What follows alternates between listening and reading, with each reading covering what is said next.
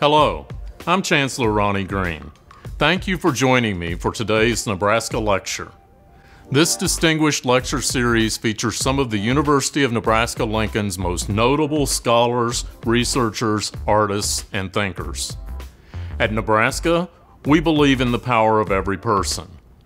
For about two decades, the Nebraska Lectures have showcased some of Nebraska's finest scholars, people who embody the spirit of this institution and are committed to sharing their knowledge with the public. Our speakers are renowned experts in their fields. They are scholars who strive to collaborate, breaking down the barriers between disciplines. They are educators who are committed to mentoring and shaping the next generation.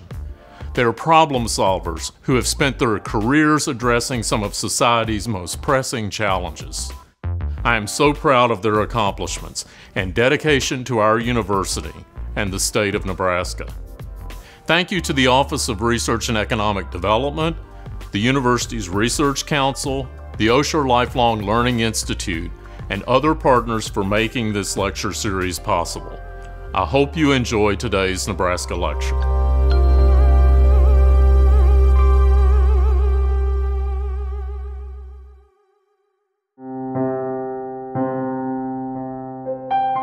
For more than 70 years, the enslaved families of Prince George's County, Maryland, filed hundreds of lawsuits for their freedom. They were fighting against a powerful circle of slaveholders, beginning with the Jesuits priests, who owned some of the largest plantations in the nation, and founded a college at Georgetown on the Potomac River. In this Nebraska lecture, historian Will Thomas tells an intensely human and intricate story about the moral problems of slavery. Will is a professor of history in the John and Catherine Angle Chair in the Humanities here at the University of Nebraska Lincoln. He served as chair of the Department of History from 2010 to 2016 and was selected as a John Simon Guggenheim Memorial Foundation Fellow, a huge honor, in 2016. Will has published widely recognized essays in Civil War history, the Journal of Historical Geography, the New York Times, the Washington Post, EDUCAUSE Review, and Inside Higher Education. His previous books include The Iron Way, Railroads, the Civil War, and the Making of Modern America, which was published by Yale University Press in 2011 and was a shortlist finalist in 2012 for the Lincoln Prize. Will is a graduate of Trinity College and received his master's degree and doctorate in history from the University of Virginia. He currently serves on the National Historical Publications and Records Commission of the National Archives and Records Administration and on the Board of Fellows at Trinity College. He is a faculty fellow of the Center for Digital Research in the Humanities here at the university. Thank you for joining us for Will Thomas's Nebraska lecture today, A Question of Freedom, the families who challenged American slavery from the nation's founding to the Civil War. We encourage your participation in this lecture. Please submit your questions online for the Q&A session that will follow the lecture.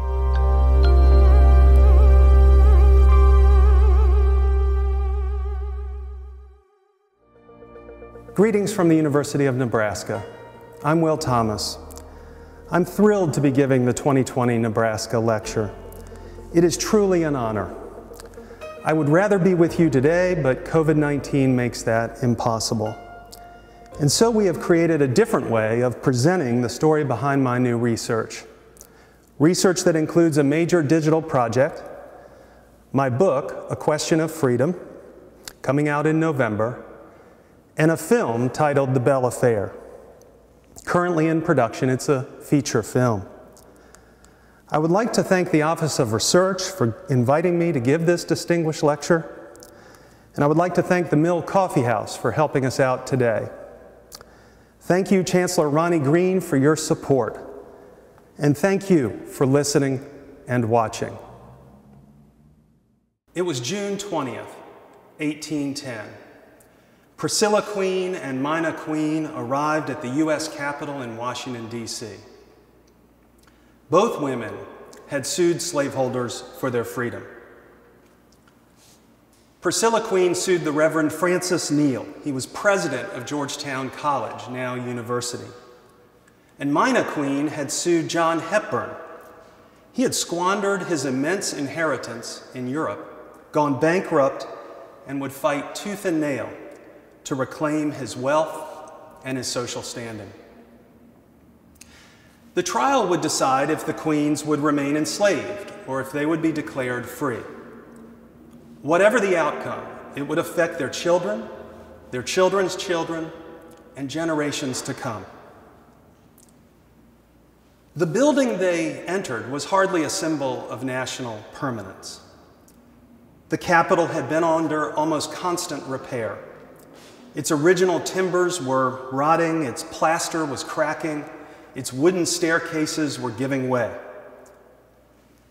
In the Senate wing, both the Supreme Court and the Circuit Court for the District of Columbia met in the basement.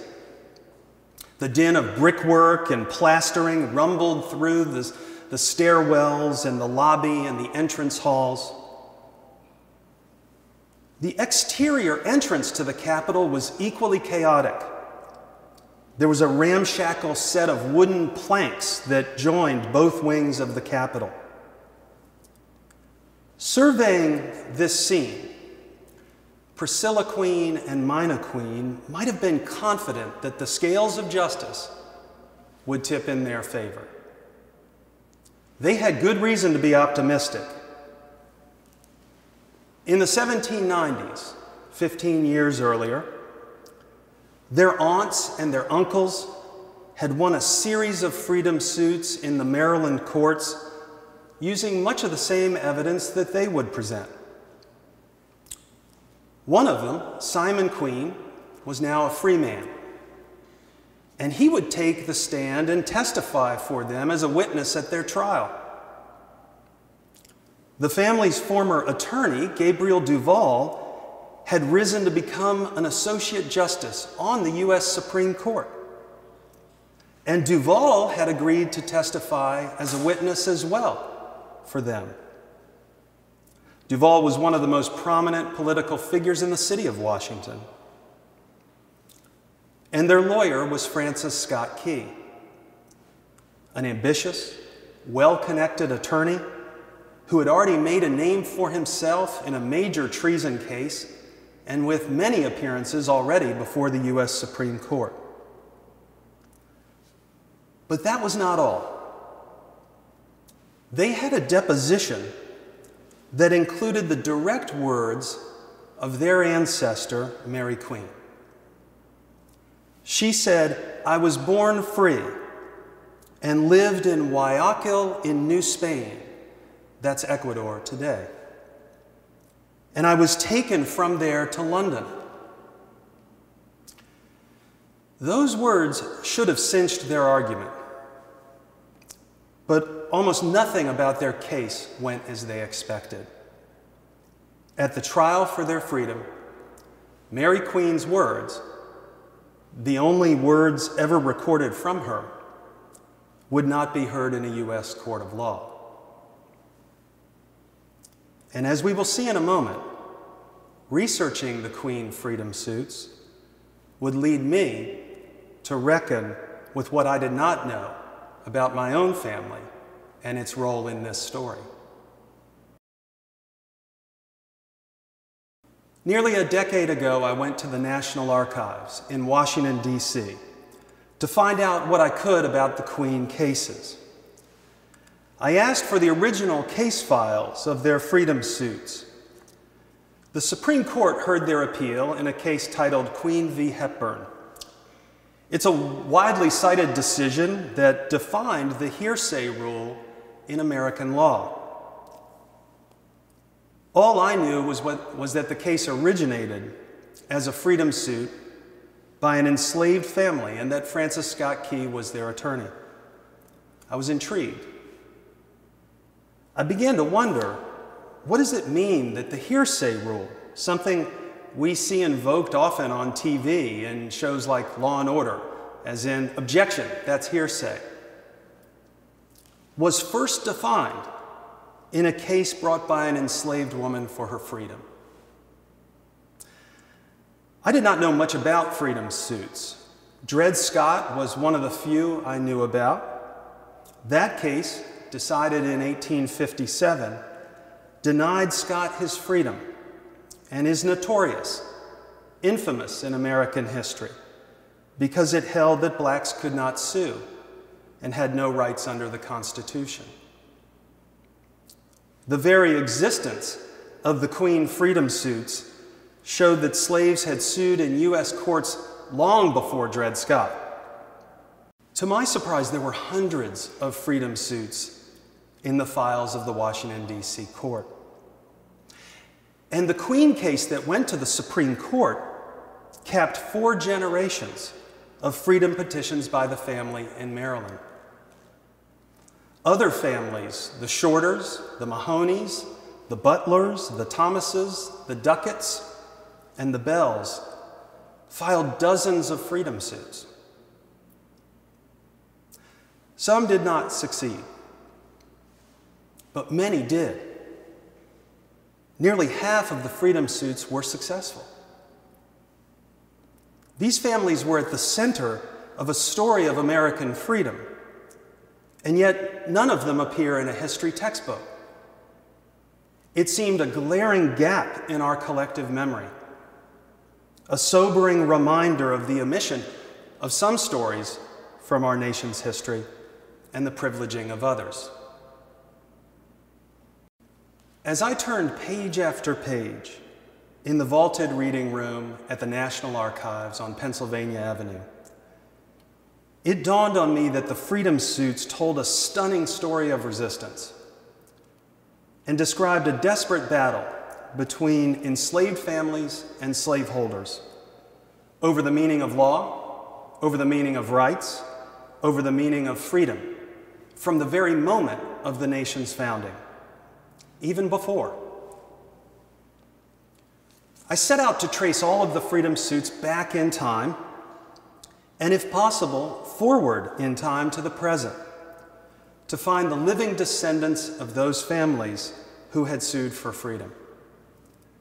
I traveled to Washington, D.C., Annapolis, Maryland, New Orleans, Louisiana, and London, England, to conduct research following the threads of the freedom suits wherever they led. I could track down these records thanks to support from the Guggenheim Foundation, support from the University of Nebraska, and support from the National Endowment for the Humanities. And I could compare these cases over time thanks to the amazing team at the Center for Digital Research in the Humanities here at the University of Nebraska Lincoln. They helped design and create a digital archive of all of the freedom suits ever filed in Washington, D.C., and their predecessor cases in Maryland. There have been many people who contributed to this research, too many to name here.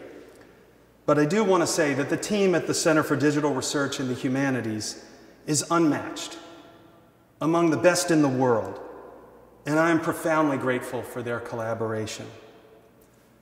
Graduate students and undergraduate students here at the University of Nebraska and at other institutions have also made enormous contributions to this research. The center's success, evident across many interdisciplinary projects, comes, I think, from the extraordinary spirit of dedication of the professional staff and the faculty and the students here at Nebraska. You can see all of the freedom suits at our website, earlywashingtondc.org. The project is ongoing. This week we are releasing 151 freedom suit cases filed by the Butler family against the leading slaveholders of Maryland. The digital archive was the first step in repairing the gaps, the silences in the documentary record. With the help of the center's staff and students, we connected the Queen Freedom Suits over several decades and all of the other freedom suits we could find in the case files held at the National Archives. Tracing every relationship in these records, we could reconstruct the genealogies of these families and the network of witnesses, neighbors, jurors, and slaveholders involved in each of these lawsuits.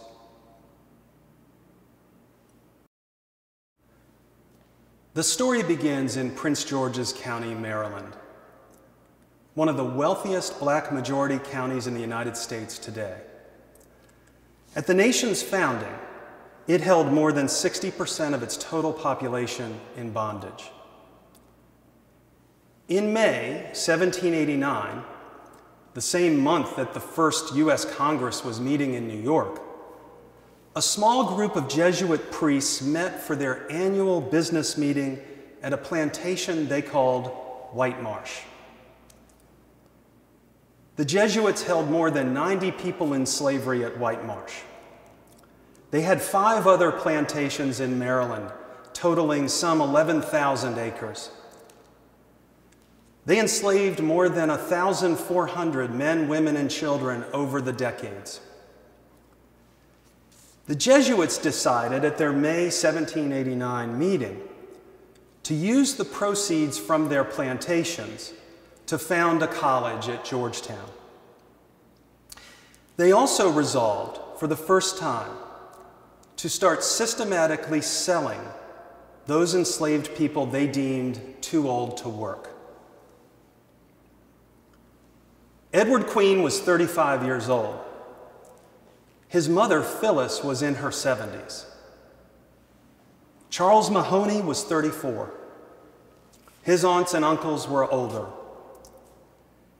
And Edward Queen and Charles Mahoney sued the Reverend John Ashton as the defendant slaveholder in October 1791. He was the Jesuit priest who personally oversaw White Marsh as its manager. He also represented the Jesuit private trust that held the enslaved families as a collective property. It was an entity that would soon be called the Corporation of Roman Catholic Clergymen in Maryland. A stunning contest unfolded in Maryland and Washington, D.C., as a result of these two cases Queen v. Ashton and Mahoney v. Ashton, challenging the very basis of slavery in American law. Charles Mahoney's case took 11 years, three jury trials, two appeals before it was finally over. In its length and complexity, Mahoney v. Ashton was like almost no other freedom suit in American history. It spanned the entire 1790s. And it turned on whether Mahoney's black ancestor came from England to Maryland as an indentured servant. And therefore, on whether something called the Somerset Principle in English law made her a free person by definition because she had set foot on English soil, where under the Somerset principle, slavery was not legally sanctioned.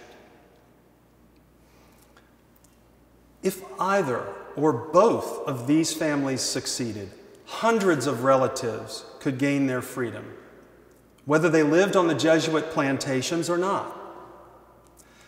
Potentially, dozens of slaveholders across Maryland would be affected.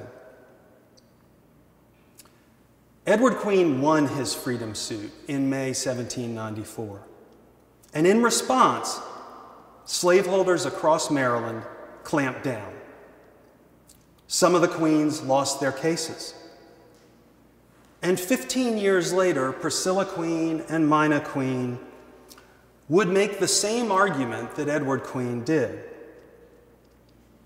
But they had that deposition, that deposition with Mary Queen's words in it. It was taken after Edward Queen's trial.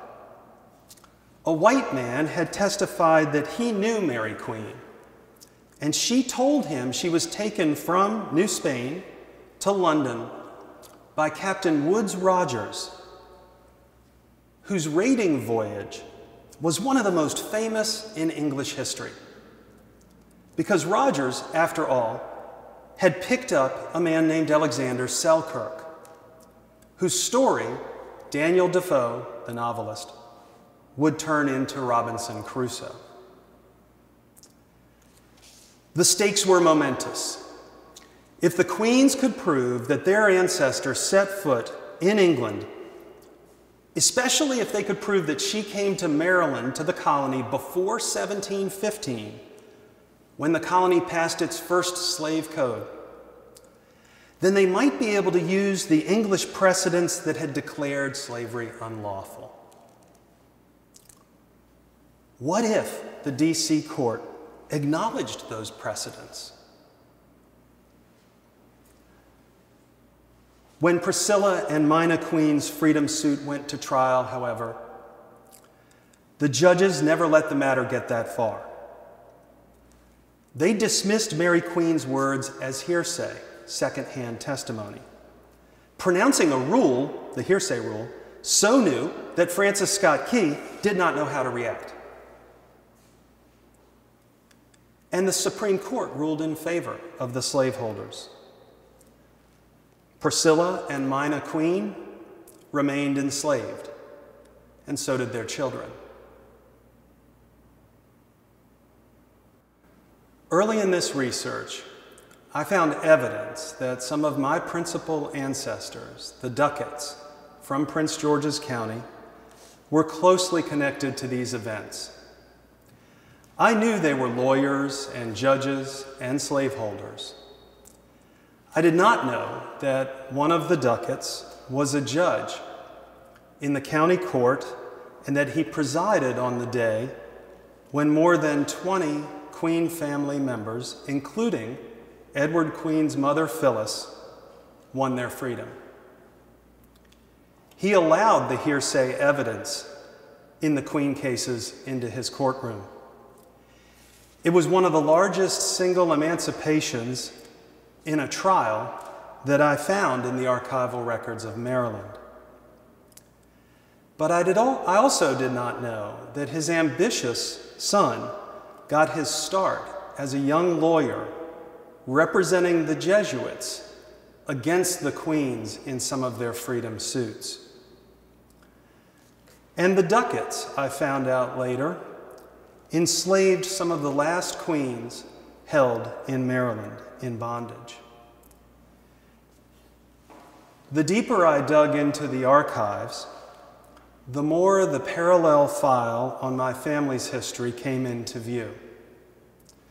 And the more I saw their actions through the lens of another family. As the full extent of their involvement became apparent, I realized I would need to confront the meaning of this history in a more personal, direct, and different way. A Question of Freedom, the book that I've written, is the story of what became the longest and the most complex legal challenge to slavery in American history. It came from Edward Queen and Charles Mahoney and Phyllis Queen and Mina and Priscilla Queen and many others. It is also a story about the deep moral hazard of American slavery, about the contradictory impulses of people like my Duckett ancestors and people like Francis Scott Key. Key represented more than a hundred enslaved families in freedom suits. But he also defended slavery on racist grounds and eventually disparaged black freedom in all forms. And so this story is also one of acknowledging the full history of American slavery and working to repair what we have not acknowledged about our nation's history and its founding.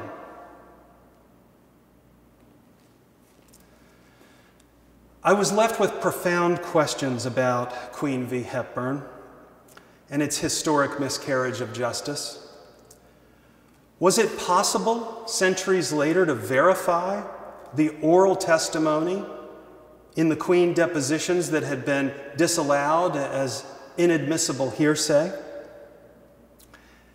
Did the remnants of Mary Queen's story make it through the generations? A story of her freedom. Did it get passed down to her descendants today? Each piece of Mary Queen's story was like a single chain in a link of evidence. We can imagine Mary Queen telling the stories of her freedom, a series of facts about her life over and over and over again.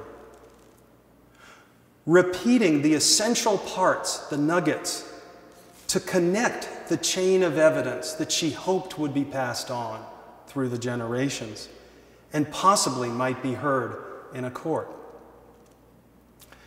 We will be joined in a moment by Melisande Short Colomb, a Queen descendant of the Maryland family that was sold by the Jesuits in 1838 to Louisiana sugar planters to fund the college at Georgetown.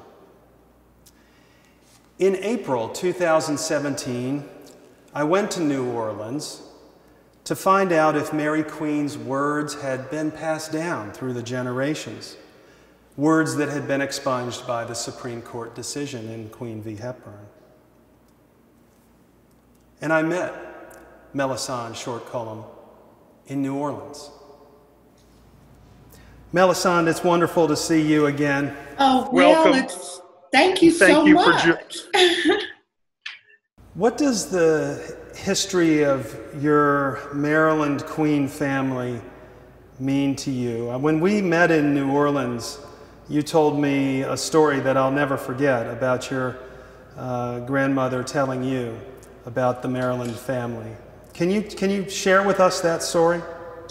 Oh, well, I grew up, um, and I've come to so, over the last three years since I've come to Georgetown, since we've met, I've come to a much deeper understanding of the stories that I grew up with from my grandmother's childhood and understanding what those stories meant to her in her life and, and what that meant to me. And I am one of my grandmother's 10 grandchildren. Um, so all of us, I have I have four girl first cousins and I have six boy first cousins, and all of us in our ways got this story from our grandmother. But I was the person, I'm the person who's sort of bringing it forward to you, which was bringing it back really to us.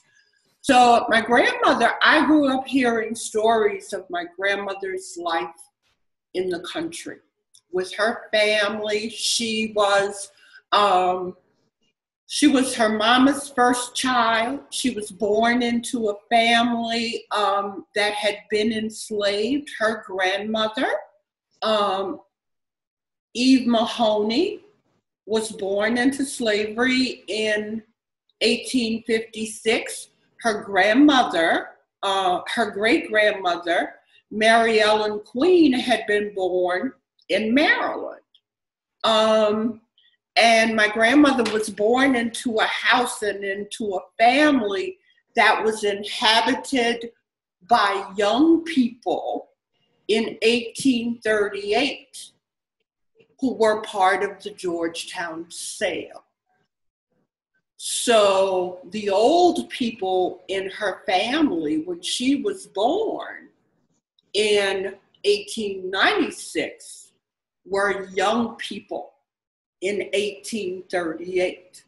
So she grew up in a family of people who shared their childhood stories and talked about being enslaved because this was the life they lived. There was no running from it or hiding it or acting like it didn't happen. Um, so I, I grew up hearing stories of from my grandmother's childhood about her family in Maryland, um, about their um, being so coming to Louisiana as free people, people who had been freed in Maryland and coming from a family that had been manumitted and gone to court, and that Francis Scott Key was the family lawyer. It's a great story. And when you and I met that march in New Orleans and we sat down not knowing one another and you were asking for information uh, from descendants of what they had heard in their families, I shared with you a, a 300 year remnant of my family's story that continued through displacement, separation from family, and 180 years of disconnection. At one point in our conversation, you, you turned to me and uh, you said, Our ancestors are calling our names. I've never forgotten that moment. What, what, did you, what did you mean? What were you saying?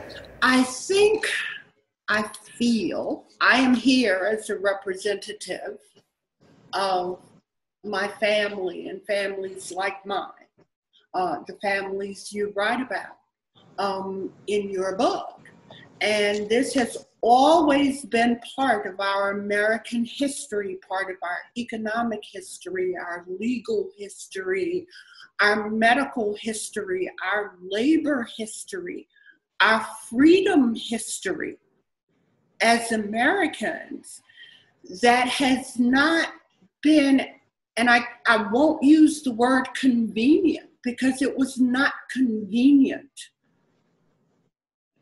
It was the deliberate decision to leave out very important players in the American story for the people to know who these builders are. There's this saying, you know, the the the stone that the the the the stone that the builders rejected? Well we are not that stone. We are the builders. And the stones don't know who we are. Thank you thank you melly. That was that was wonderful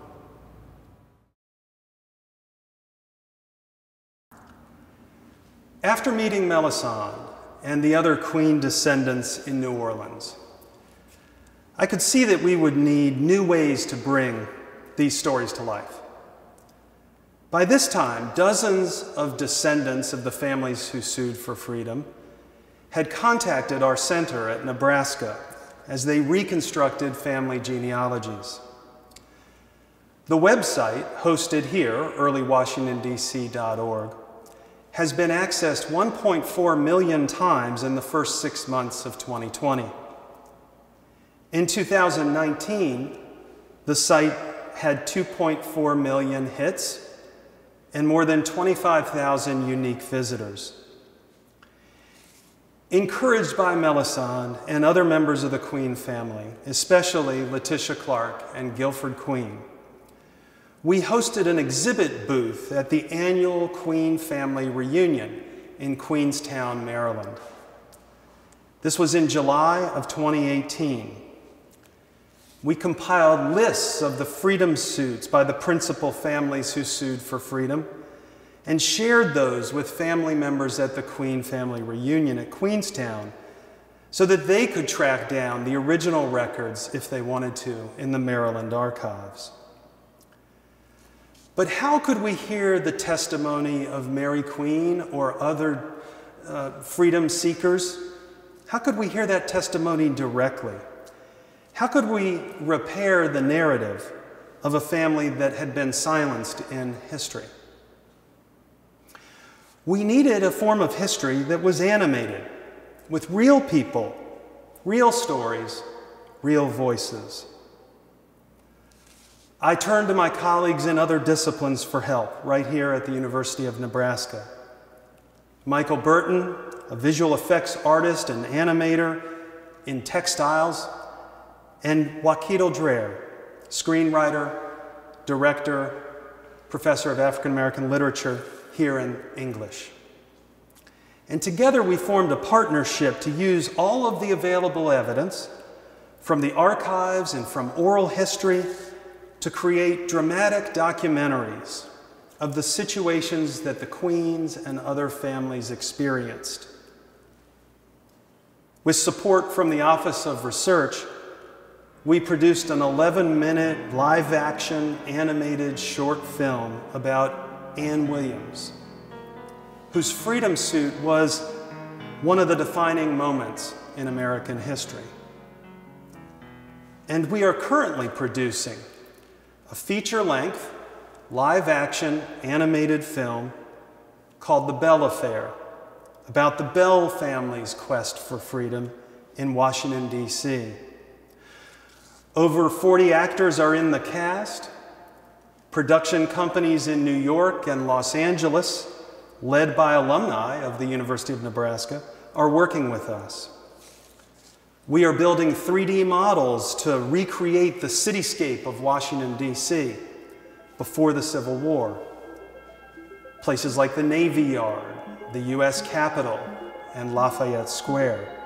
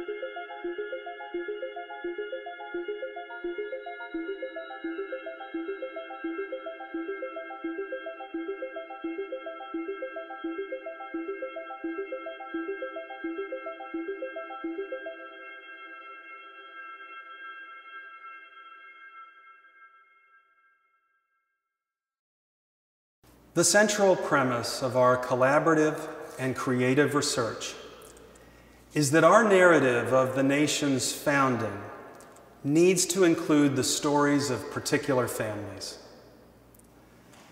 The national imagination still sees slavery as some kind of aberration, a detour from the true story of the nation's founding. And in that view, enslaved families remain largely nameless and faceless victims of a long ago system since disappeared. But this needs to change. Their descendants, their histories, their families live. And until we reckon with this history more widely, Americans will continue to live in separate spheres of historical understanding. That's a condition that more than anything, limits our ability to come to terms with the past.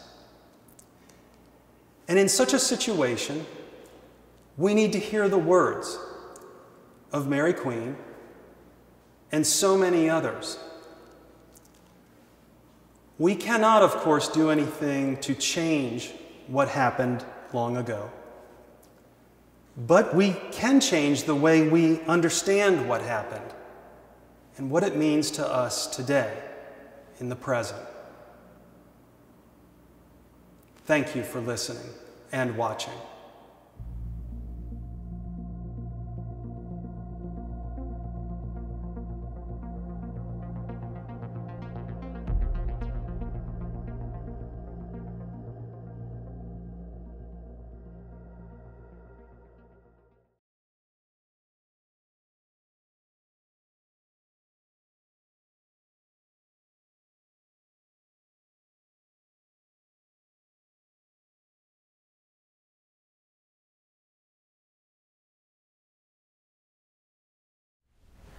Well, Will, thank you so much for sharing the compelling story of Mary Queen and her fight for freedom, and many thanks to her family, as well as you pointed out, for keeping that story alive and for centuries that have passed so, so that we could still hear it.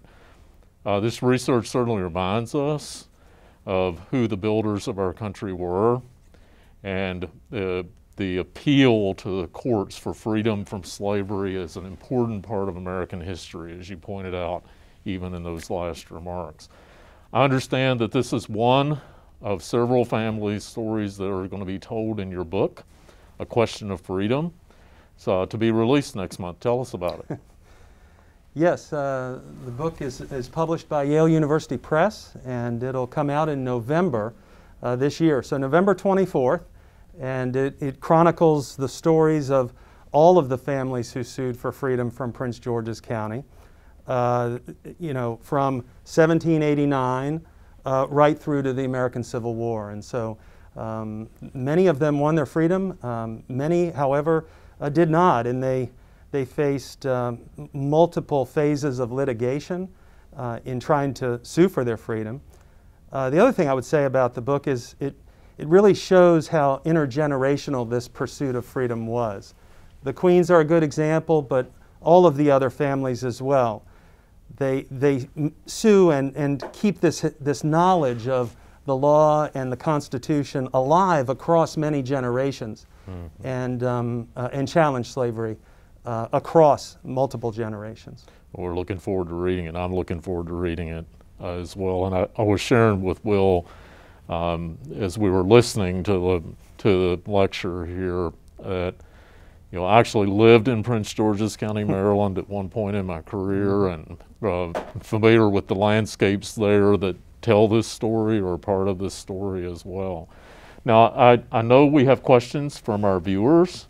Uh, the lecture, thank you for being here with us today. Uh, we had really good uh, attendance online uh, in this time of COVID 19. And I, I, know you may have questions that you wish to submit and to have a chance for Will to, uh, to address. So please feel free to do so uh, by using the bottom of your screen in the chat function there or by emailing UNL research at unl.edu. And we've had a few, Will, that have come in, uh, so we'll go right to them. Um, first question is what's the story of the Bell affair? Why make this into a feature film?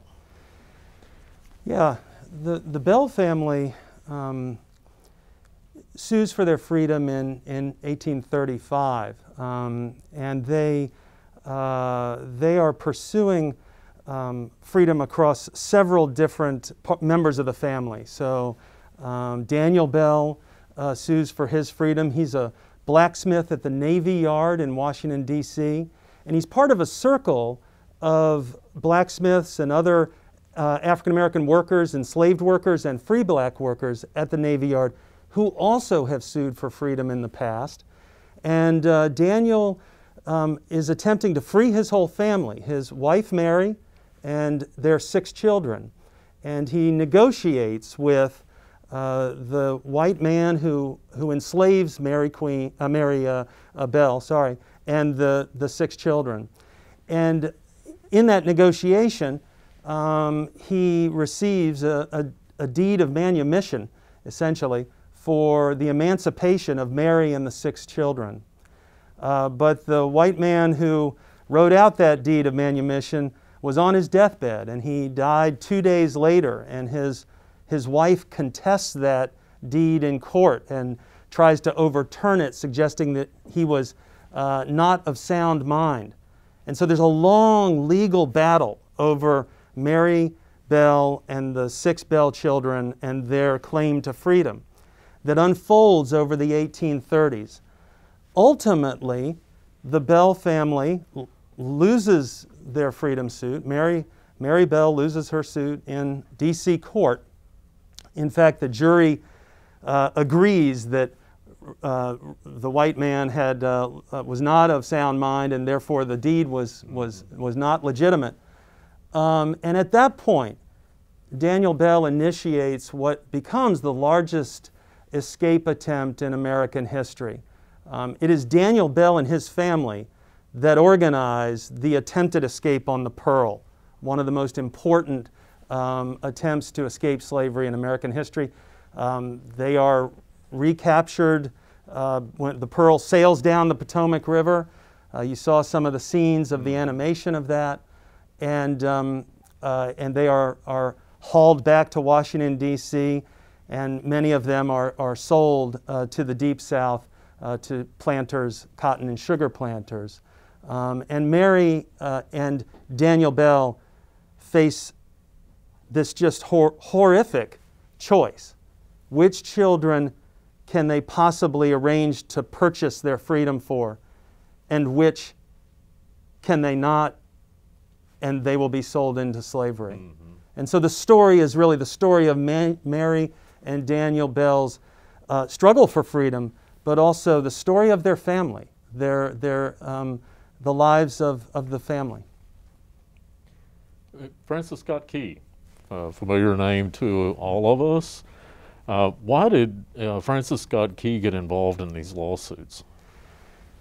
Well, that was one of the questions I had when I started this research. I, I, knew that Key was involved in the Queen case, but I didn't know much about Key. Uh, of course, I knew that he authored the Star Spangled Banner, our national anthem, but I, I did not know much about his lawyering um, or about his family, really. Mm-hmm. Um, Key's uncle, Philip Barton Key, represented the Queens um, in the 1790s in Maryland.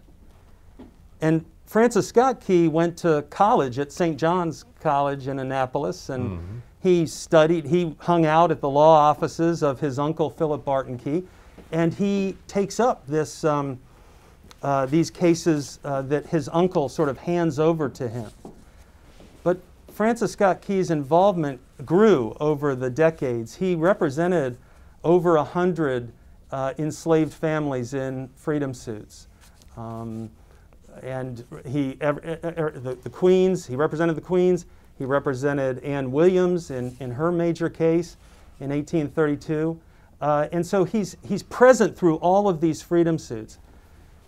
The difficulty is that Key also, um, by the uh, mid 1830s, has begun to talk publicly about um, black people as not being worthy of freedom.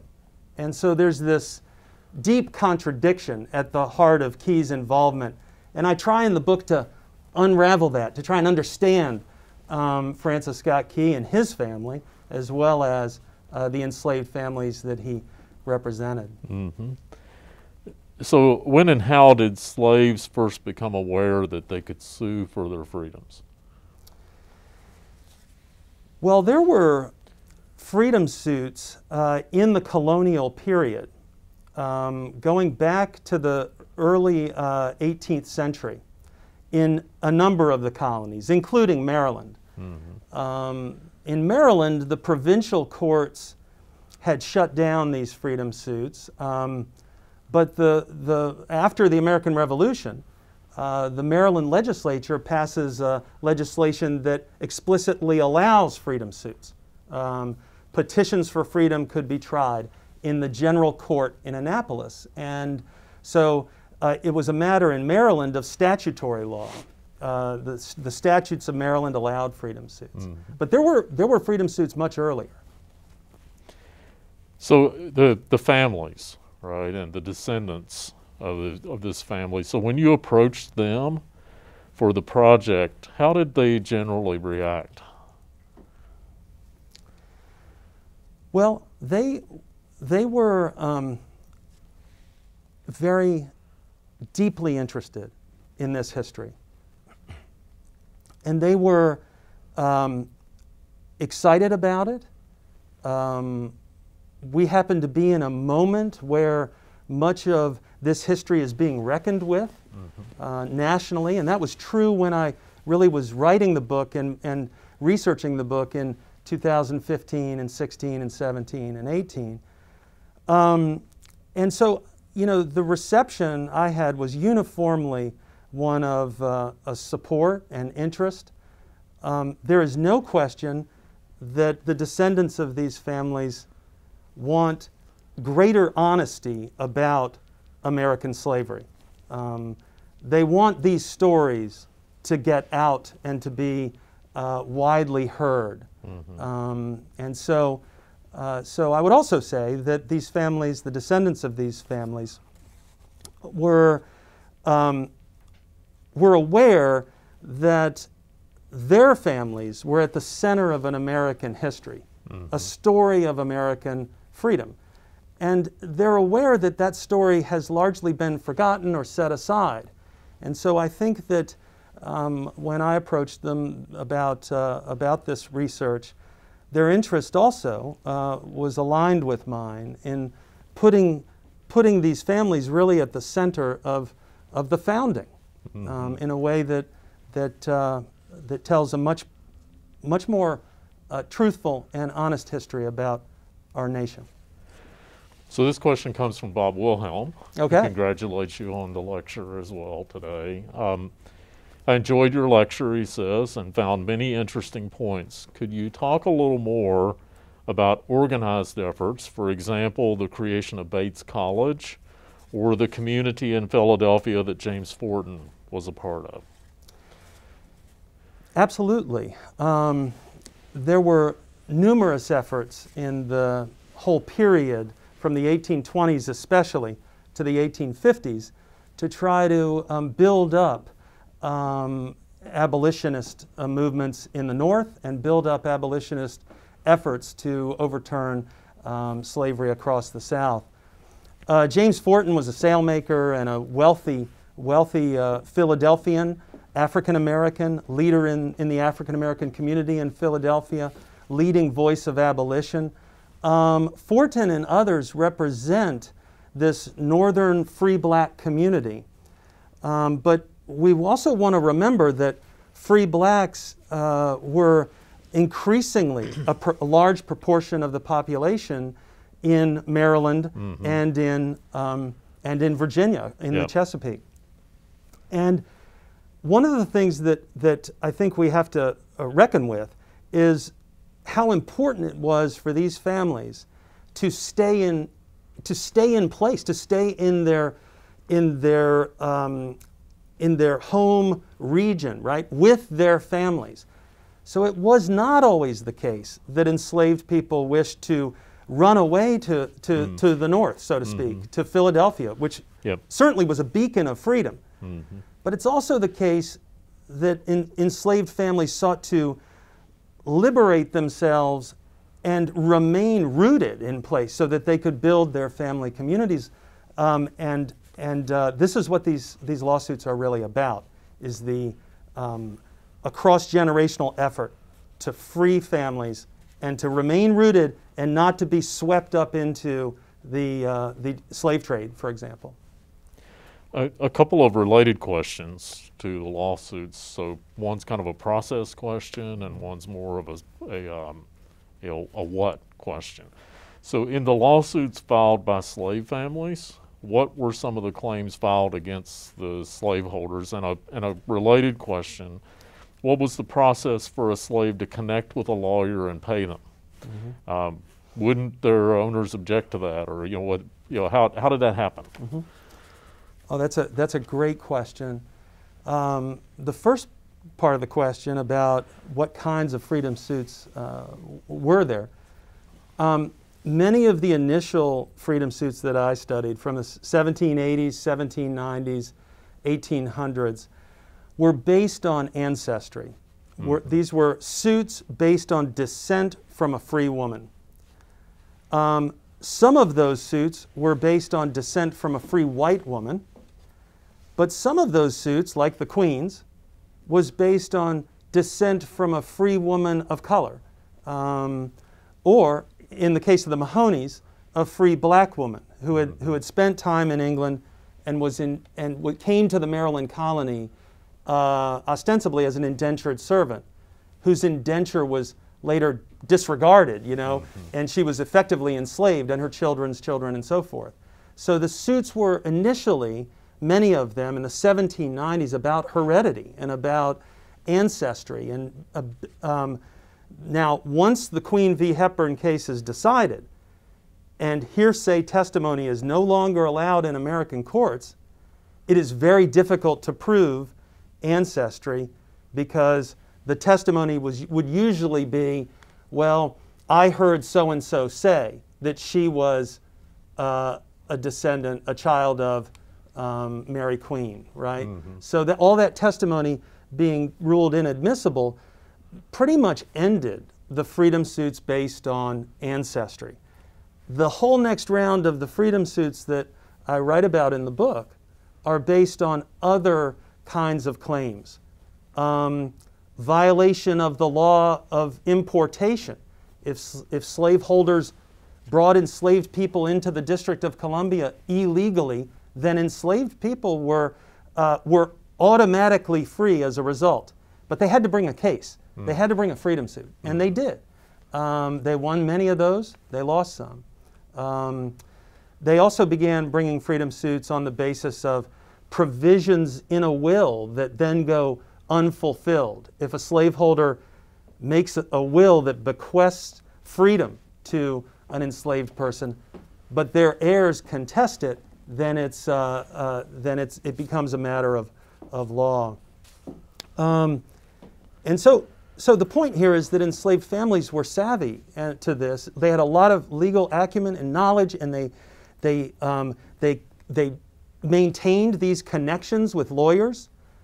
Um, you asked about the lawyers. The lawyers in Maryland were paid by the court mm. um, in these cases. Mm. Uh, in Virginia, or parts of the District of Columbia that were under Virginia law, it worked a little differently. That is Alexandria, Virginia. Yep. Um, but, uh, but basically, um, while some of them were pro bono, uh, free uh, counsel, enslaved families also hired attorneys. And they did so because, in many cases, they had been rented to employers in Washington, D.C., including the federal government, mm-hmm. and they were able to keep their wages. Oh. And so they would, in fact, then go hire attorneys. And, and um, I think we've, we've missed all of this in our understanding, sure. and I think it's, it's uh, so important to reframe the way we understand enslaved uh, people and enslaved families and this history. Last question. Yeah. Um, can you say more about the Jesuits' role in enslaving African Americans? Uh, when did they decide to sell off enslaved people and why? Well, the Jesuits are certainly central to this story. Um, they, uh, they enslave um, Africans across the, the South America and, uh, uh, and in Maryland as well. Um, at one point in the 18th century, the Society of Jesus is the largest slaveholder in the world, really. Mm. Um, in Maryland, they, they inherit property and inherit land and enslaved people, and then they hold those, uh, those people and the, the land effectively in a trust that they manage through the, this whole period. Um, they, they go back and forth on the idea of whether to, to liberate all of the enslaved on their plantations. In 1814, they come close. They then turn back away from that in 1820. And by 1838, um, they, they decide uh, to sell over 200 enslaved men, women, and children to Louisiana sugar planters, including a member of the Key family. Um, so it's a, it's a deal that really takes place in Washington, D.C. And the purpose of it is to shore up the finances of, of Georgetown and the Archdiocese. Um, and and there's, a, there's a way in which the Jesuits really, I think, are struggling with the same uh, central issue that, uh, that is the United States enslavement of people, um, and that is the issue of, of slavery. And they, they go back and forth on it, uh, but they eventually um, sell. Yeah, have, have there been any reparations by Georgetown? Yes. Um, we heard from Melisande Short Colomb on the, on the program, uh, she is, has been an, a recent undergraduate student at Georgetown and helped lead the effort to uh, pass a student a fee that would go to reparations. Um, and so there have been a number of actions that Georgetown has taken to try mm-hmm. to address the historical trauma and the legacy of the, of the sale in 1838.